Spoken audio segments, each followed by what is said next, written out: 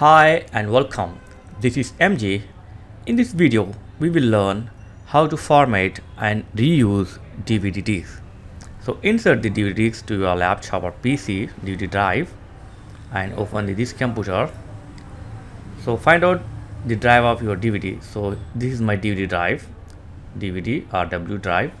So this is the current content of DVD. So now I want to format it remember if you format the dvd you can't reuse store the data okay? So it will completely erase the all data from your dvd so now i am going to format the dvd just right click on the dvd and then click on format.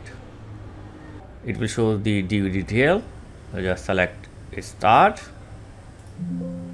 And it's giving the warning formatting will, will erase all data on the disk. To format this click ok so then click ok. Okay done. Format is completed.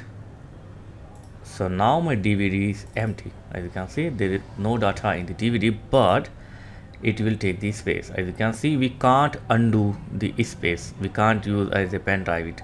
Because when you write the dvd it will take this space.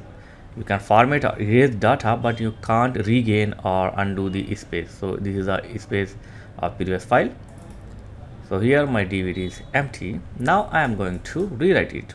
I'm going to add some files like this.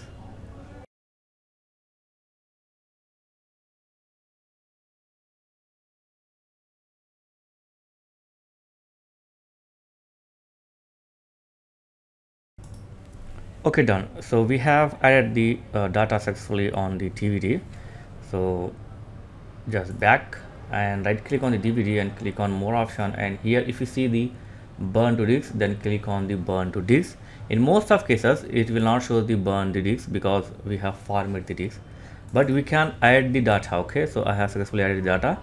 And after this uh, simply eject the disk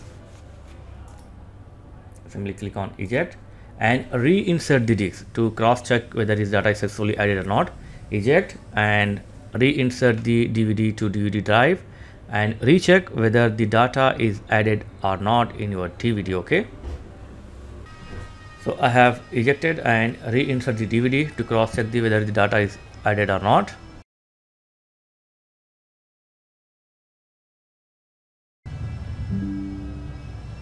Okay dvd is detected now let's open. And that's it. As you can see here my data is successfully added. Now you can use or browse your data from dvd so like this you can format and reuse your dvd disc. So thanks for watching guys. Catch you next video. Please like share and subscribe. Thank you very much